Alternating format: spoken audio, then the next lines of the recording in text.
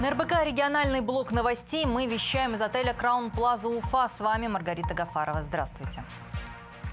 В Башкортостане все высшие учебные заведения вновь переходят на дистанционный формат обучения из-за распространения COVID-19. Из дома будут учиться студенты независимо от курса. Об этом сегодня на оперативном совещании доложил министр образования и науки республики Айбулат Хажин. По его словам, в последнее время резко возросло число заразившихся новой коронавирусной инфекцией. Ежедневно в вузах регистрируют до 50 инфицированных. Решение отправлять ли на дистанционку учащихся выпускных курсов будет принимать руководство учебных заведений. В колледжах и техникумах прирост заболеваемости пока невысокий, поэтому студенты СУЗов продолжат учебу в обычном формате.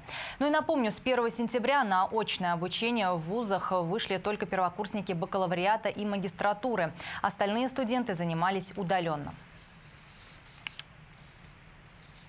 32 человека войдут в команду Центра стратегических разработок Башкортостана. Так называемый инвестиционный спецназ будет заниматься экономикой развития. Кадровый отбор в новую структуру прошел в Уфе в жанре реального телевидения, детали проведения которого до последнего дня держали в тайне. Такой нестандартный формат конкурсного отбора специалистов в России применили впервые, чтобы соблюсти все рекомендации Роспотребнадзора.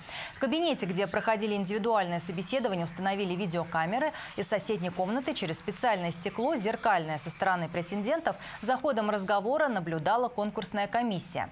Основными критериями оценки участников были стрессоустойчивость, умение импровизировать и оперативно принимать решения. Всего к участию было заявлено 100 человек, 66 прошли в финал. Из них 32 человека сформирует управленческое ядро центра, остальных включат в кадровый резерв. Центр статистических разработок Башкортостана и ранее выступал в роли одного из э, каналов э, потенциального социального лифта для тех, кто там работает, и чьи знания будут востребованы потом в разных сферах жизни республики, так я думаю, что и сейчас э, будет то же самое, и как принято было и ранее, люди, которые придут в него работать и которые проявят себя с лучшей стороны, будут иметь отличные перспективы дальнейшего карьерного роста и возможности реализации собственного потенциала. Напомню, Центр стратегических разработок создан в регионе этим летом указом главы Башкортостана. Структура будет заниматься подготовкой и реализацией проектов и стратегических инициатив, направленных на развитие экономического потенциала республики.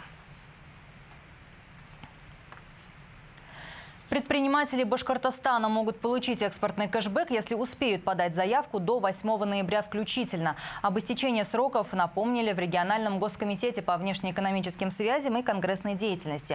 И вот по словам главы ведомства Маргариты Болычевой, заявки уже подали 15 компаний. И еще столько же госкомитет сможет субсидировать, если предприниматели вовремя предоставят документы.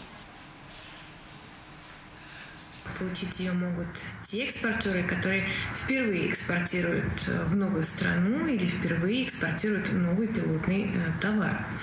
Э, субсидия не превышает 3 миллионов и не больше 50% налогов, уплаченных за прошлый год. Кроме того, предприятия могут воспользоваться субсидией на возмещение затрат на международную сертификацию. Сейчас соглашение на ее предоставление заключили уже 14 компаний на сумму 5,5 миллионов рублей. Воспользоваться грантом могут еще 12 субъектов МСП. Также Госкомитет предоставляет субсидию на транспортировку товаров за рубеж. И вот на все эти цели из регионального бюджета в 2020 году выделено 215 миллионов рублей. 30 предпринимателей прошли обучение в школе предпринимательства на базе Торгово-промышленной палаты республики. Курсы длились неделю, а в завершение слушателям вручили сертификаты выпускников. Участники изучили стратегию управления предприятием, преодоление негативных последствий COVID-19 для бизнеса, подбор персонала, маркетинг, финансовое планирование, рентабельность предприятий и бухгалтерский учет. С каждым слушателем курса была проведена индивидуальная работа на примере их собственного бизнеса.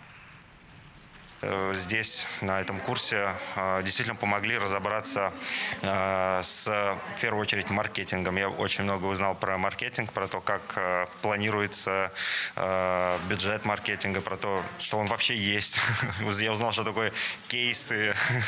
Ну, мой кейс разбирали здесь поэтапно, очень подробно.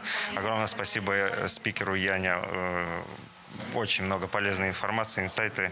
А, я думаю, это очень поможет а, мне и нашей компании для дальнейшего развития. Мы просто заряжен на успех.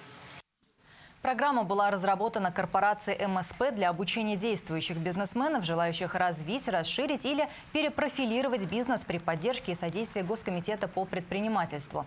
До конца года обучающие курсы пройдут еще в Уфе, а также в Салаватском, Архангельском, Учелинском, Нуримановском, Благоварском и Иглинском районах республики.